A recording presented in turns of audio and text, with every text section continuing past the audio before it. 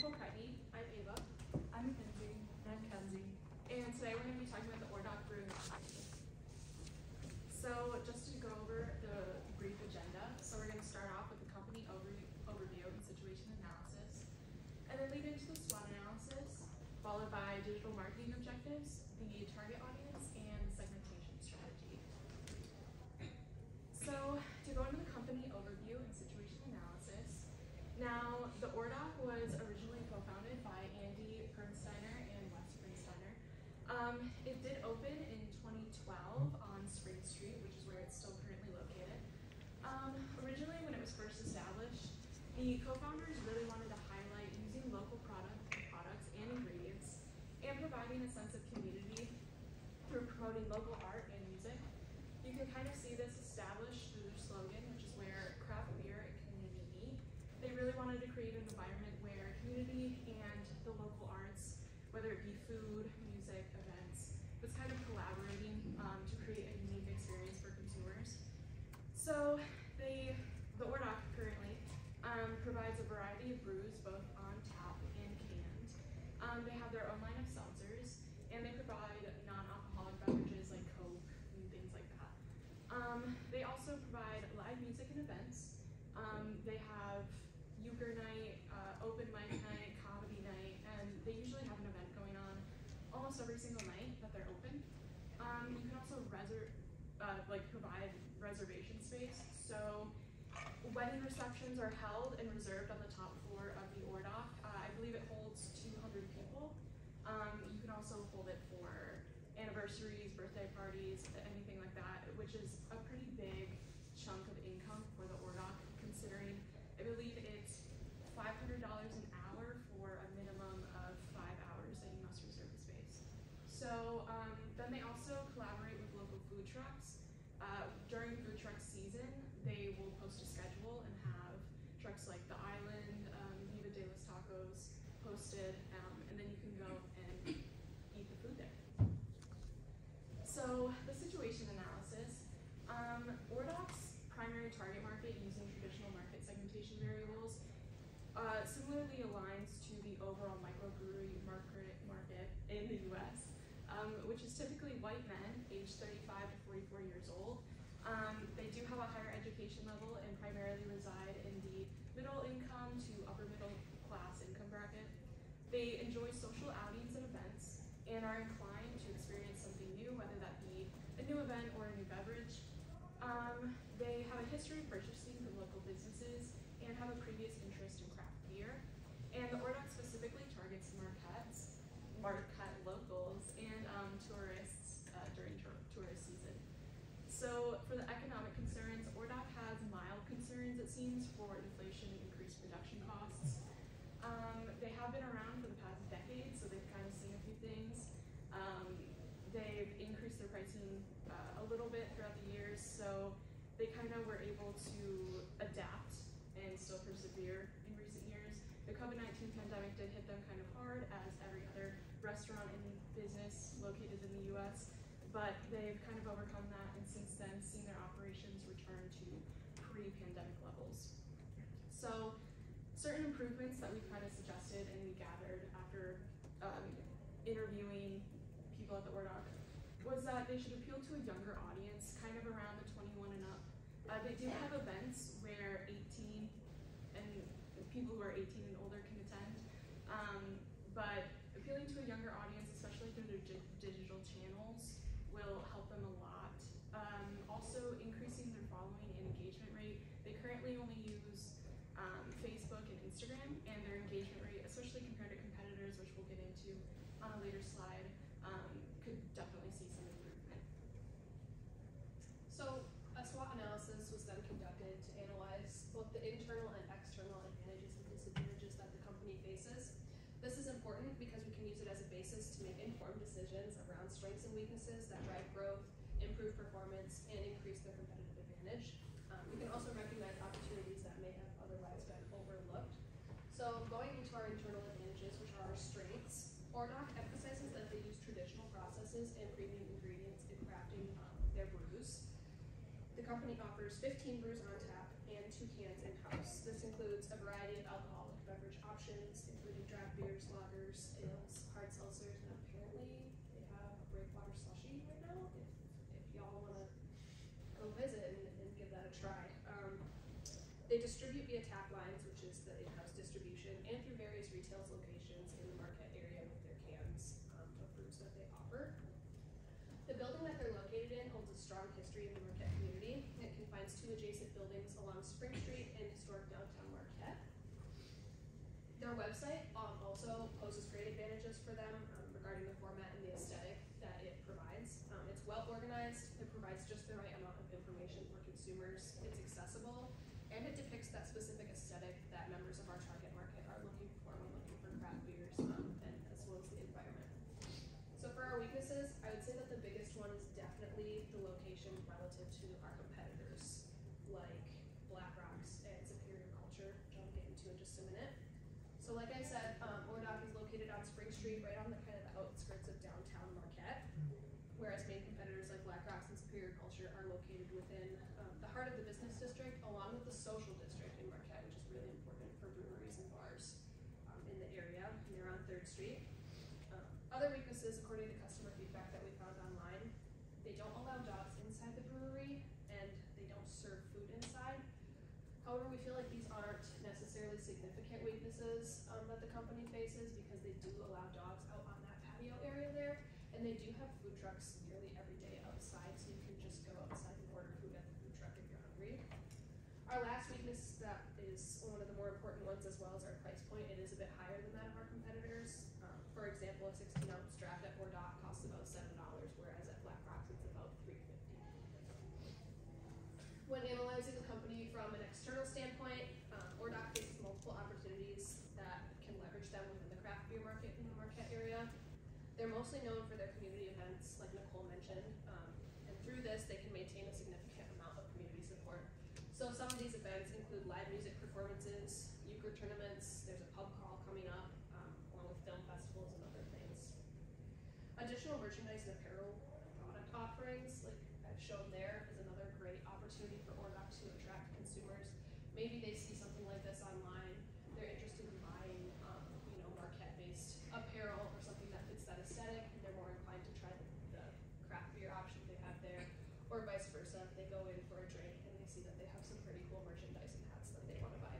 So it's a great way to bring in money and revenue for the company.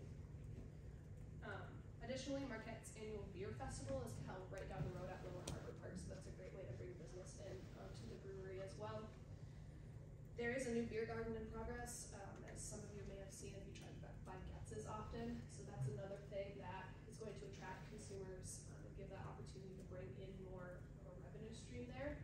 And lastly, um, there are other opportunities centered around social media presence and the aesthetic that they can portray to their consumers through social media channels and on their website.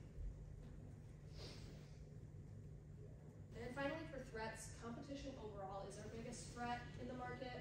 Um, we have two competitors that we are focusing on, Black Rocks Brewery and Superior Culture. Both of them are located on Third Street, really close to one another within the social district. So as far as Black Rocks goes, they offer nearly the same amount of draft beers on tap that Ore Dock does. They have a better location, like I mentioned, in that social district, so if you aren't familiar with what that is, um, people can go into these businesses, purchase alcoholic beverages in a specific cup with a sticker on it, and they can walk around downtown and go from place to place, um, within that district. They also offer lower prices at Black Rocks, like I had mentioned previously. For Superior Culture, they have twelve rotating taps there, um, additionally that better location in the social district. They also offer specialties and they have a focus on being organic, fresh, and alive, which is something that a lot of consumers in the Marquette area are pretty, um, adamant about and focus on, at least moving forward, um, in the market. Alright, so we're gonna get into our digital marketing objectives, and just overall, we're gonna quick start with like what our branching mission is, which is to increase the Ore Dock's engagement rate by five percent in June twenty twenty-four if we were to start here in the fall. And reason being is because generally for business accounts, you want your engagement rate to be one to five percent. It seems small, but the more followers you get, the harder it can be to keep that. And so we're gonna quick look at their social media. And so Instagram has about almost thirteen thousand, with their Facebook twenty thousand, and we actually fall in between that one to five percent. Their Instagram being five percent engagement rate, and their Facebook at like one percent. Although when we're looking at our competitors, Black Rocks, we're really falling short. Their Black Rocks has around twenty-five thousand followers on each platforms. Their Instagram at almost 21% engagement and their Facebook at 8%. So we're really kind of lacking there and we want to increase that because we can see the disconnect between individual posts and how many followers we have and that translates into the physicality of coming into the brewery, having that traffic and getting more sales. So of what we want to work on to increase our engagement is obviously increase post performance individually, revise event promotion, uh, improve video content, and then also strengthening their email marketing. So then here's some little screenshots, so we're going to talk more about those. Looking at their Instagram for post performance, they have great photography overall, great feed. But as you can see, it's just centering around the beer, which is great. They are a brewery, but more than just selling a product, you want to sell a personality People love seeing people on social media, they'll engage more, be more interactive, and then just be a simple way to see if we can get more engagement. Over on the left, we have our Facebook, and that is just our kind of like events tab. They're really great at promoting promoting events on Facebook, setting reminders, but that isn't translated throughout the rest of their media. It's very centered on Facebook. So it'd be important to revise their marketing strategy and make sure there's permanent place on all of their marketing and promoting their events since they have such unique events that are happening almost every day, like Nicole said. And in addition to kind of going back to Instagram, we don't have video here, but that's where a lot of their videos are centered is Instagram, but they're lacking. The content doesn't have much context. There's not really any audio. It's more of a montage. There's not a lot going on. But video is a great place to get potential customers and raise awareness really easily. It doesn't take anybody with a phone basically can really get better at video marketing. So using that to promote and get more awareness is something we really want to try and do. Lastly, in the middle, this is a screenshot from the uh, bottom of our website of Ore Dock strengthening email marketing. We already have an email list, which is great to let people know about event promotions, specialties, etc. But we kind of want to revamp that a little bit and start a membership program. If you've ever gone to the crib or pack rats and you get those little like punch cards can get either discounts or a free product, we want to do that but digitalize it through emailing, which will really be an integral part in our lead generation. We want to target consumers from when they're making purchases up by the bar, seeing if we can just quick grab their email and you gather points and eventually get a free drink. And that can be integrated with some of our events, etc. But we think it'd be a great way to then see how many people are coming to the brewery. Are we getting people off the street from like Mansion in comparison to Black Rocks? We can really see them really easily with that. So now we're gonna look into our so, um, looking into our primary target audience, I did um, a couple of different things. So, I kind of separated it into three key characteristics for our main target audience. Um, we were thinking it would be very integral to obviously target craft beer enthusiasts, but also locals because obviously they're right at our fingertips. It's the best way to generate people consistently coming in and then also live music lovers. This is something that we want to um, really work on marketing, especially considering Black Rocks and Superior Culture also have live music. We're trying to, you know, promote why ours is better and different and more engaging and a better time than any of the other breweries in the area. And then um, looking over at our, our second target audience our um, tourists, obviously people that are coming up to the area, foodies, people that are interested in Marquette's unique like um, food truck culture because that is pretty uncommon in terms of like just being from downstate or Wisconsin. Having like the food trucks is like a fun and um, sort of social experience that can um, bring people back.